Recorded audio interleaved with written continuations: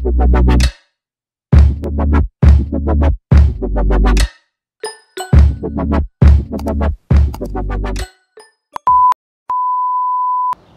mama! So ayan, magandang umaga sa inyo mga mama. So for today's vlog, uh, actually nandito ako ngayon sa terrace namin, sa taas. Ayan, so kasi hindi ako makapag-vlog dun sa baba at saka sa kwarto. eh. So dito na lang muna. So for today's vlog, share ko sa inyo kung anong ginawa namin or ginawa ko para lumakas yung gatas ni Zoe. So simula kasi nung nanganak si Zoe, actually, ah, kung tawagin, yung mother instinct ni Zoe, medyo, ano, medyo palya-palyado, palyado yun. Medyo maano yung pagka mother instinct ni Zoe, wala. Parang ganon. Kasi, yun, unang-una, hindi niya nilalapitan talaga yung mga puppy niya, yung mga baby niya, ayaw niyang tabihan. Tapos, hindi rin siya nagpapadede talaga. So, nagawa namin, pinipilit namin na padedein yung mga puppy sa kanya. Gagawa namin, hinihiga namin yung mga puppy. Ah, hinihiga namin siya. Tapos, saka lang namin papadedein. Tapos, pag gusto niya tumayo, tumatayo siya. So, yun. So, unang-una namin ginawa, nag-bottle feeding kami for ilang ah, araw yon papakita ko sa inyo yung video, nagpapa-bottle feed kami. So, hindi naman ganun kadali rin kasi magpa-bottle feeding kasi every 2 to 3 hours nagdedede yung mga puppy. So, napupuyat ako, napupuyat kami ni Papa Ege. So, ano, yun. So, as much as possible talaga, um, pinipilit namin si Zoe na magpadede. Tapos, yun pa, ah, medyo mahina yung gatas niya. Mahina yung gatas ni Zoe. So, naghanap ako ng mga pwedeng gawin, pwedeng lutuin, pwedeng pakain sa kanya para lumakas yung kanyang gatas. So, i-share ko sa inyo yun. So, ito yan. Mm. So, ayun nga mga mama. So, since nanganak si Zoe, yun nga, ito na sabi ko, ah, medyo naninibago siya sa mga pangyayari na may anak na siya, ganito, kailangan niya na magpa-dede ng mga babies niya. So, wala pa talaga siyang mother instinct. So, ang ginagawa namin ni Papa Ege, every 2 or 3 hours, nagpapadede kami sa mga puppies niya. So, ang ginagawa namin, inihihiga namin siya sa kama, or nilalagay namin siya mismo doon sa, ano, sa crib ng mga puppies, tapos pinapadede namin siya. Kung hindi naman siya pwede magpadede or ayaw niya or walang gatas na lumalabas sa kanyang ah, dede, ang gagawa namin is nagpapa-bottle feeding kami. So, is, iniisa-isa namin yung mga puppies, pinapa-bottle feed namin sila. Yun. So, medyo matrabaho, tapos ang lakas makapuyat talaga. So, yung mga first two, two weeks ng ah mga puppies, ganun talaga yung routine namin every night. So, nakakapuyat talaga siya. And also, minsan, madalas umiyak yung mga puppies kapag hindi nila nararamdaman yung warmth ni Zoe. Kasi kailangan talaga kasama nila si Zoe sa kama eh. Or sa crib. Para yung init ni Zoe, yun yung mararamdaman nila. Lalo na pag gabi naka-aircon kami. So, nilalamig sila. Ginagawa namin, tinatakloban lang namin sila ng kumot, ganyan. And yun, napansin ko nga na ah may time na sobrang hina lang ng gatas niya ni Zoe na lumalabas sa dede niya. So, naghanap ako ng mga makakatulong para lumakas yung gatas niya. And I found this, ano, ah powder na makakatulong para lumakas yung gatas niya, lumakas yung immune system niya.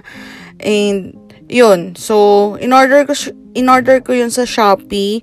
At ang pangalan ng product na yon is ah Moringa Powder. Ayan, Moringa Powder siya.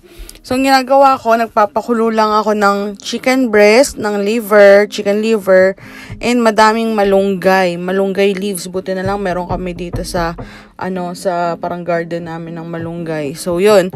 Papakuluan ko yun. Tapos, ah, nilalagyan ko siya ng moringa powder. Yun. So, hinahalo ko siya.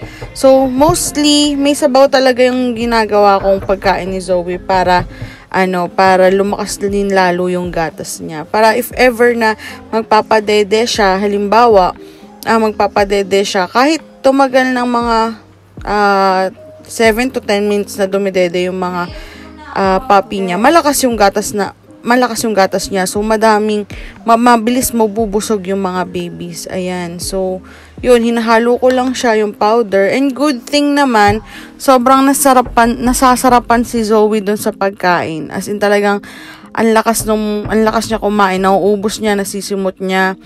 Kahit sobrang jump yung nilalagay kong pagkain dun sa food bowl niya. Ganon din si Chloe.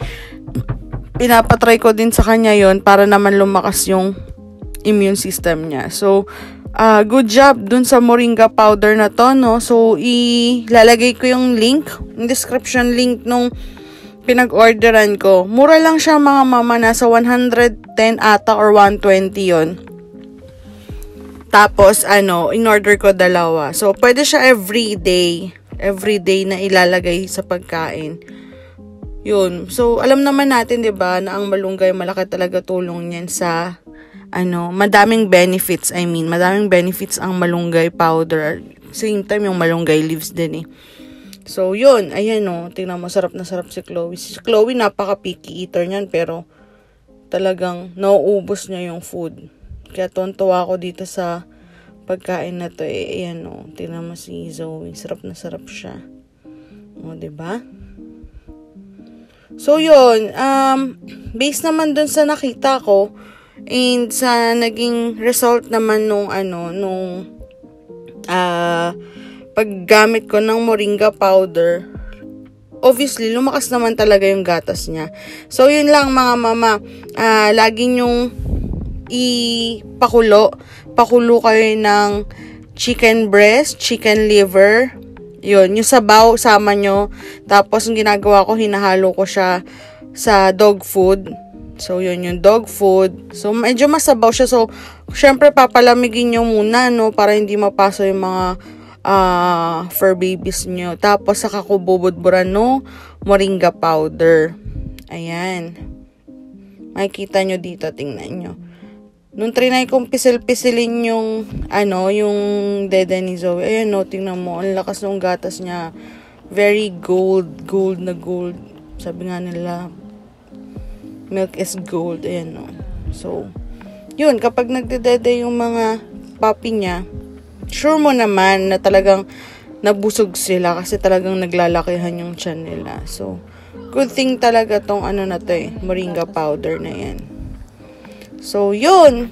Advi ah, uh, yun, recommended ko talaga tong moringa powder na to mga mama kasi yan, super happy ang mga puppies ni Zoe pag nagdedede sa kanya. Alam mo yung parang busog na busog talaga, satisfied na satisfied sila.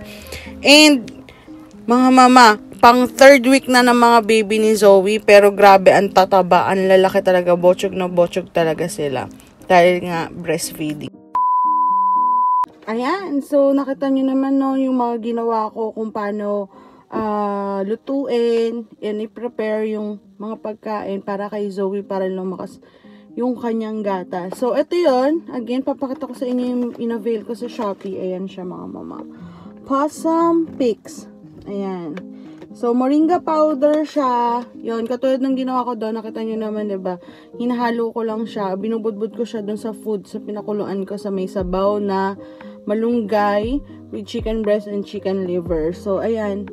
110 lang to mga mga napakamura na yan. So, again, ayan, ah, uh, very, ano yun, very recommended tong moringa powder na to dahil sobrang laki ng naitulong nito para mapalakas ko yung gatas ni Zoe. And, based naman sa nakita ko, lumakas pa siya lalo kumain.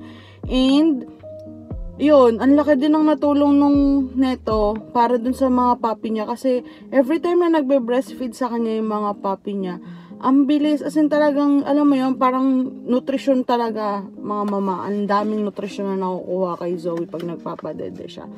So, yan. Again, na-recommend ko to. Any brand naman siguro, no? Any brand, basta moringa powder, hanap lang kayo. Baka may mas mura pa sa 110.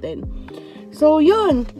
Actually, dito ako sa kotse eh, kasi, I know, um, sabi ko nga kanina, mahirap mag-vlog kung saan, ah, mahirap mag-vlog sa kwarto kasi nandun yung mga papi, so maingay.